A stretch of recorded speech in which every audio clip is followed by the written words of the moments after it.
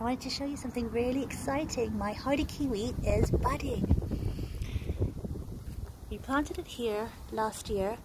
Um, we, we, actually got it in the autumn of 2020 and left it outside in a little pot. I didn't plant it out into this, into this actual spot until the autumn of 2021. But um, it's doing really well. It grows really fast.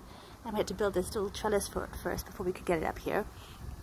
So I'm hoping we'll cover it all with lots and lots of fruits. It's a hardy kiwi and the variety is called Issai and it produces little tiny grape-sized, smooth-skinned green kiwis.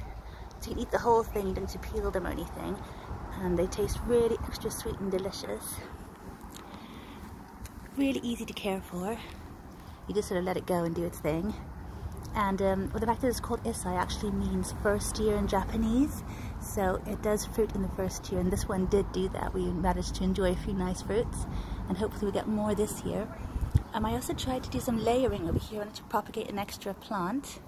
So I just took a bit of this stick here and pinned it down and then put a stone on top of it and this soil on top of it too and that should actually just let this this area over here grow some roots underground and then this will be a whole new plant that I can separate from the mother plant next year or this autumn even and then plant somewhere else and then maybe a bit of a sunnier position because it does do really extra well in the sun whereas this position isn't quite sunny. So we'll see how it goes.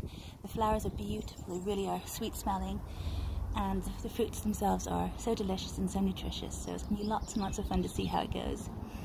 And I'll keep you updated as well